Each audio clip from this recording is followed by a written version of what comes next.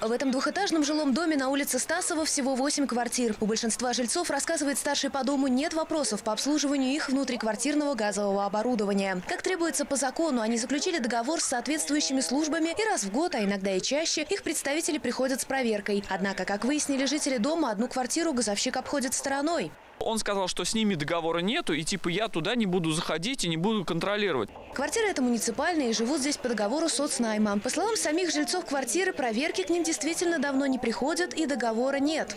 У вас э, с кем-то заключен договор на обслуживание газового оборудования? Тут газа вообще нет, он отключен здесь.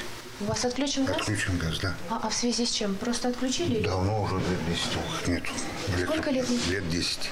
Ситуация на Стасова вроде бы прояснилась, но вопрос людей по контролю за газовым оборудованием остался открытым. Что делать, если собственник квартиры не хочет заключать договор на обслуживание газового оборудования? В связи с недавними трагедиями в Магнитогорске и городе Шахты, где в многоквартирных жилых домах произошли взрывы бытового газа и погибли люди, вопрос жителей более чем актуальный. Чтобы все же разобраться, кто, что и в каких случаях контролирует, люди обращались в управкомпанию, газовую службу и даже в мэрию получен, ну, в принципе, логичный ответ. Типа, мне, как внимательно озабоченному жильцу, надо написать заявление в управляшку о том, чтобы они обеспечили доступ представителям газовых служб и, соответственно, участковому, чтобы попасть в квартиру.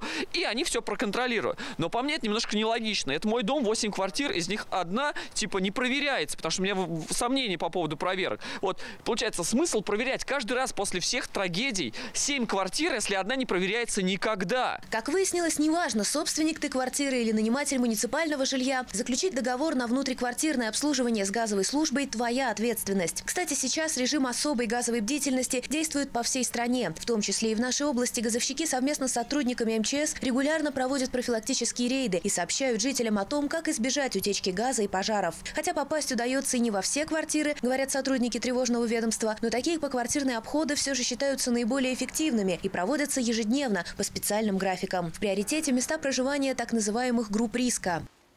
Обходы проводятся в многодетных семьях, а, там, где проживают одинокие граждане, граждане, которые ведут, а, скажем так, антиобщественный образ жизни. В свете последних событий, а, которые произошли в стране, также сейчас сотрудники МЧС активизировали профилактическую работу.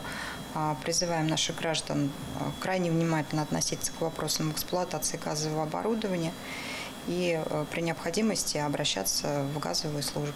Если же человек не пускает к себе проверяющих или не заключает договор на обслуживание, с ним должна работать управкомпания, ТСЖ или ТСН. Зависит от формы управления дома. Но воздействовать на нерадивого собственника или нанимателя они могут лишь уговорами. Ведь управкомпания отвечает за газовое оборудование лишь на территории общедомового имущества. А дальше каждый сам за себя. Снимают с себя ответственности газовщики. Они уверяют, что не обязаны контролировать квартиры, не заключившие с ним договор на обслуживание. Однако в случае опасности для жизни людей по сигналу в аварийку газовщики могут могут отключить конкретную квартиру от газа. О нарушителях, которые несколько раз не пустили проверяющих в свои квартиры или тех людях, которые до сих пор не заключили договор ни с одной газовой службой, газовщики сообщают, куда следует. Контролирующим органом у нас по соблюдению правил осуществления технического обслуживания является государственная жилищная инспекция. В такой ситуации мы ее информируем. У нас предусмотрена административным кодексом административная ответственность, и органом уполномоченным рассматривать дела является также государственная жилищная инспекция.